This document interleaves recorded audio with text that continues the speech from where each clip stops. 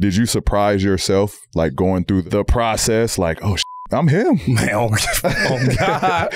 I'm him. Man, dude, that's funny you brought it up because I could never crack 30. That was like my thing in high school, college. I just was never, could never get 30. I think I just didn't have that Yeah. extra gear because Well, you're not a volume shooter. Exactly. But then like once I got to Brooklyn, I think the whole thing was winning. Like I felt like at some point, like, all right, like for us to really be out there and how many times I had a ball and all that stuff, I'm like, we kind of pretty much I might have to have 30 to to be in the game. Towards the end, I'm like, why should I not get 30? Right. You know what I'm saying? If I don't get 30, I'm like, I miss all the shots. Like, you know what I'm saying? You know how that shit go. Like you get all the looks you want. You'd be like, I shot nine for 21. I Right. sh- really should have 40. I definitely surprised the shit out of myself. And then I kind of was like, okay, maybe this is who the hell I am.